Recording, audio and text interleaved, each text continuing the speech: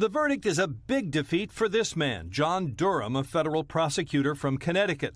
He was appointed by former Attorney General William Barr to examine whether the FBI broke any laws in investigating possible connections between Donald Trump and Russia.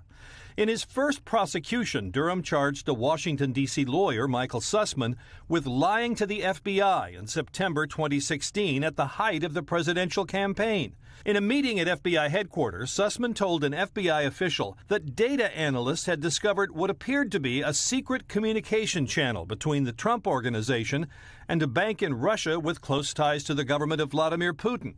Durham charged that Sussmann lied by telling the FBI's general counsel that he was passing the information along as a good citizen, when in fact Durham claimed Sussmann was doing it on behalf of a client, the Hillary Clinton campaign, hoping to stir up negative news stories about Trump.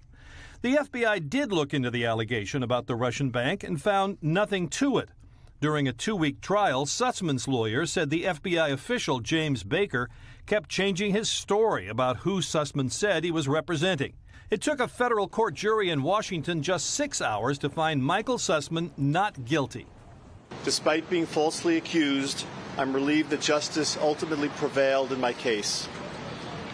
As you can imagine, this has been a difficult year for my family and me, some legal experts were surprised that Durham filed the charges in the first place, given that the FBI knew Sussmann's law firm did work for the Clinton campaign. Usually, we expect DOJ will get a conviction when it takes cases to trial, or at least that they'll have a strong case. But here, the weaknesses of this case were apparent from the get go. The acquittal is no surprise.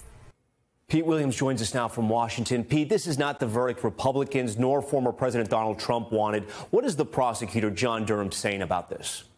Well, he does say he's disappointed. He says he respects the jury's decision and he thanked his staff, but you're obviously right. He did not want his first case to end like this. Uh, this is not the end of Durham's work, correct? As a special prosecutor, he has one more case? Right. He has at least one more, another one coming up in the fall. He is prosecuting a Russian analyst who lives in the U.S., Igor Danchenko. He's accused of repeatedly lying to the FBI about where he got the information that ended up in the infamous Trump dossier, the document that's now been widely discredited. He's pleaded not guilty. His trial will be in the fall.